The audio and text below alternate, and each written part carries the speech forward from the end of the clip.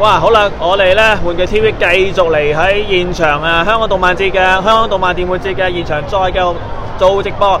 咁而家咧去到呢個 Blue Black Seven 咧就有有兩位內地設計師嚟咗。嗯咁我哋就訪問下佢啦。其中第一位咧就係 Dark Crown Toys 嘅李歡 Kevin Lee 啦。我我偶像，我的偶像偶像。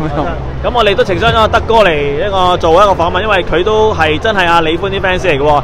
咁啊，我哋先講翻普通話啦，暫時要，因為佢方便翻，冇錯。咁啊呢個 bilingual 嘅，咁啊，今天我們都這用用我們很普通的普通話 和和和大家介介紹這個大空 toys 的。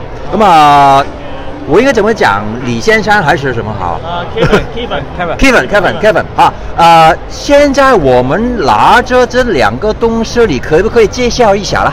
对，呃，这个是我们燃魂系列的一个开运物，即燃魂一比六的主角的使用的一个道具，我们把它作为一比一放大化了。然后这个是首发的第一款的鬼面达摩，是燃魂的主角使用的角色。然后这款是新推出的天狗，属于是有一个新的角色的势力所使用的角色。然后嗯，这啊，款产或者我我我我，誒，我我我介紹一下。啊。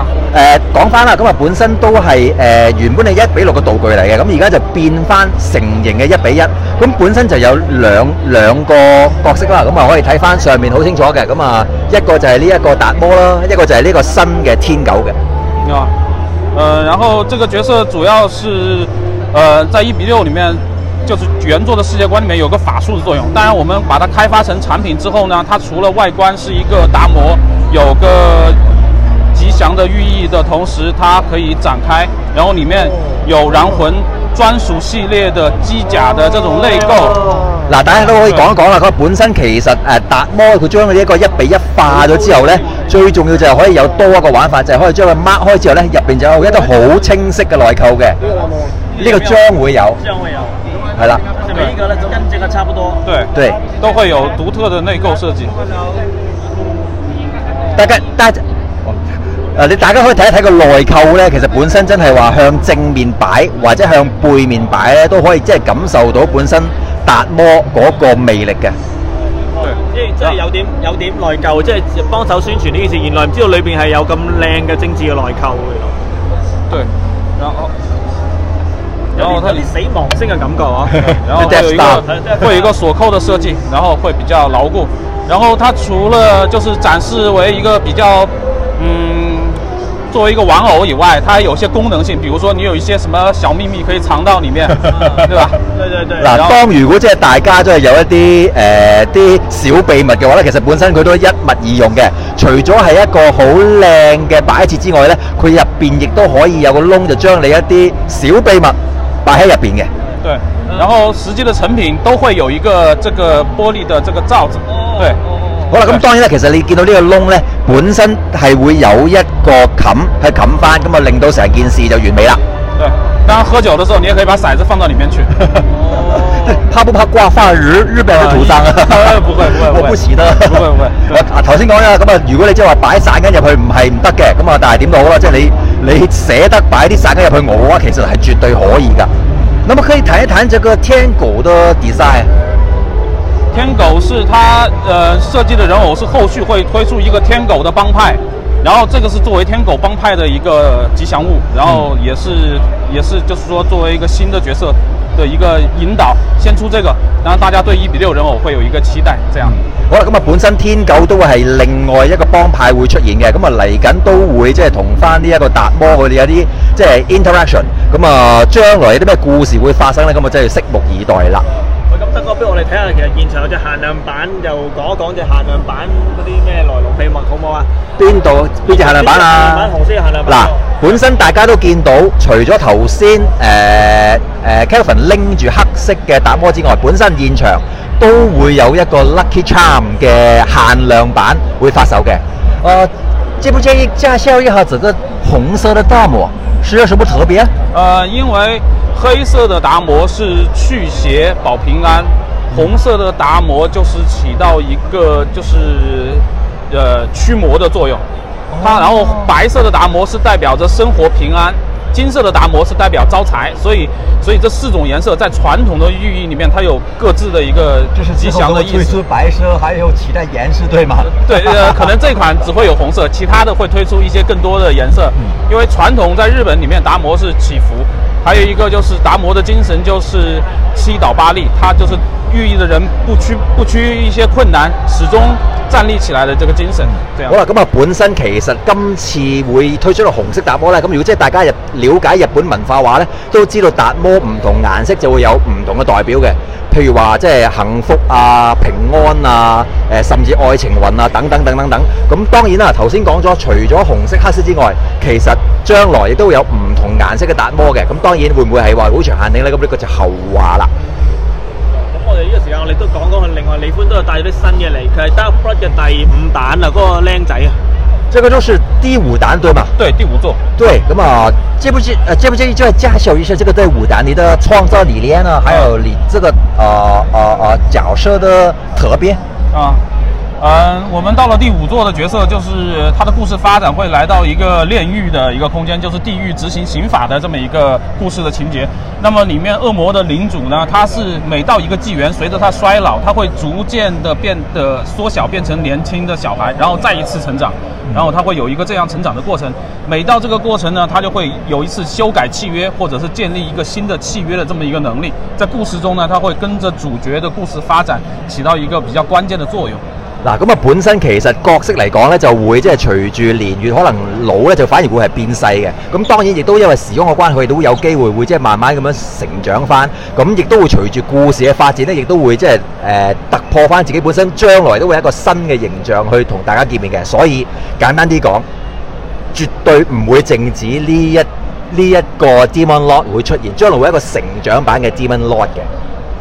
佢係細咗，但係咧其實佢好多配件喎。你見到一二三有隻豬，有兩個火具，有個凳，其實都有五嚿嘅 total。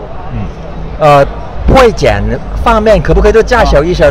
比如叫它的宠宠物啊，哈，呃，这个灯台啊，啊、武器啊，等等等等等。呃，然后我们第五到了第五座的时候，我们这次主打的是一个比较有趣的元素和场景结合的元素，因为这次我们呃正式发售的产品地上还会有一个辅助的一个地台，可以让这些东西对位摆到这个地板上去，让它更有场景的代入感。而且这次更多的开发了包括这个场景的地狱之火的火炬，包括那个王座，嗯然后会让。角色跟场景有更多的互动，而不是仅仅只是站在场景上，他可以坐在这里。就它是一个王皇者了。对对对对，它更多的气氛让他让你觉得这款人偶更有代入感，嗯更有他所生活区域的那个气氛。然后包括这个宠物也体现一个比较有趣的成分。然后它是它的一个狗，然後比如说关门放狗啊，或者是带狗出去遛狗，然后狗的铠甲是可以拆卸的，然後裡面會有一個生物的狀態。嗯對對。咁啊，本身其實雖然大家見到已經有唔少配件，包括呢一個狗啦、登台啦、王座啦等等等等等，咁但係其實本身未完嘅件事，咁佢亦都會有一個專屬嘅地台會擺設咗喺度，同埋會有一個好靚嘅 deco，令到成個王者嘅氣派會擺出嚟嘅，同埋本身亦都會有好多唔同嘅配件同佢連動，咁啊無論呢一個武器也好，狗也好，即係你可以拎佢放狗，諸如此類，都會即係有一 set 完整嘅配套，去令到成件事嘅更加突出嘅。好啦，咁我哋都非常多謝李官啦，因為我我哋都唔係好多好多次訪問你咯，嗬。謝謝 Kevin 謝謝啊 Kevin。但係我哋今日 Kevin 都帶咗個朋友仔嚟喎，就係叫你師弟可唔可以啊？你帶咗個師弟嚟喎，就但是是不是你的師弟啊？啊，不、呃不是不是，他應該比我厲害多了。哦，係啊，阿靜啦，我哋叫佢阿靜咧，就係誒內地久安工作室嘅嘅設計師嚟咗當中喎。咁咧佢就比較怕走，佢可能未必會上鏡，但係唔緊要。OK，好，謝謝。係，但係唔緊要啦，咁我哋都會揾佢聲音導航啦。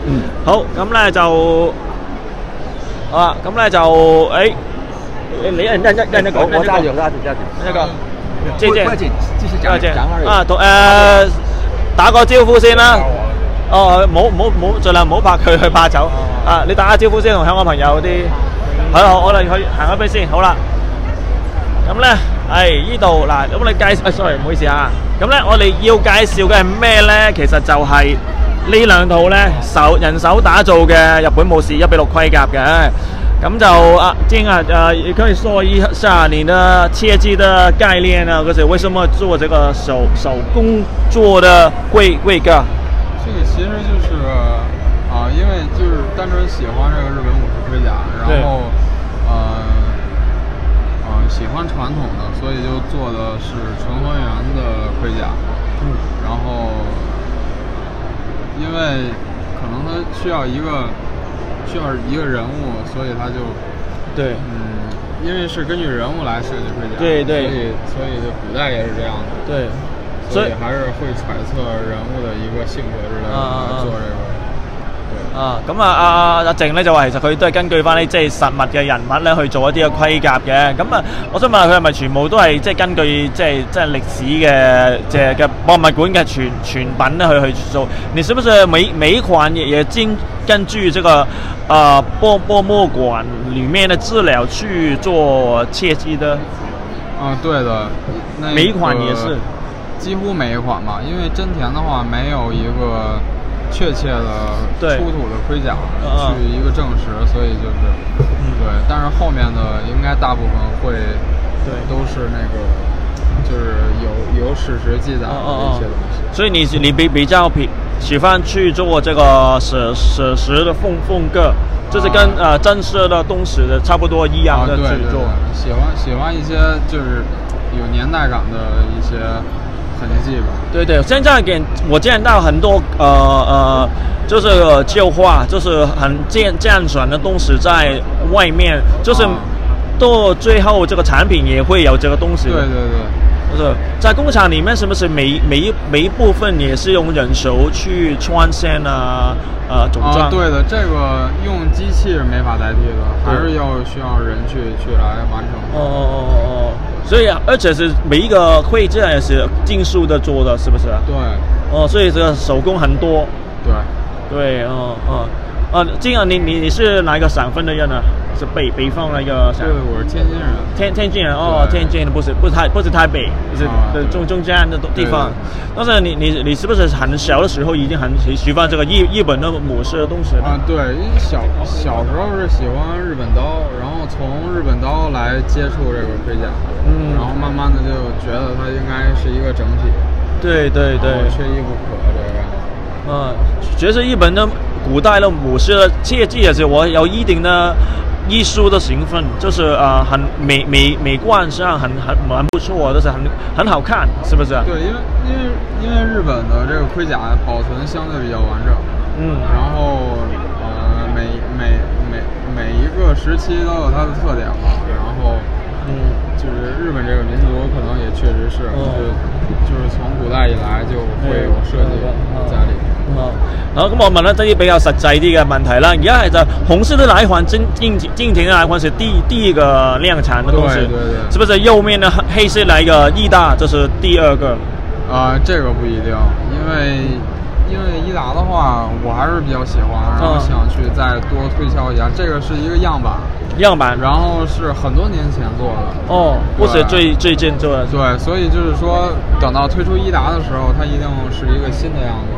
哦，所以就是呃未来的時候不是这个样子，呃，未来会比这个要好很多，哦因为这个是很多年前做的，有一具有一定意义吧。这是我们做的第一款，第一个这个日本武士的盔甲。哦哦，所以这个是第一个，呃，做了有多少个？这个这个列这个大概全球一共发售了四百五十，四百五十，但是已经买完卖完了，，但是已经对已经完售了。对对对，呃，所以你在未来会继续推出呃第二、第三、第四。哦，对的，对对对对对。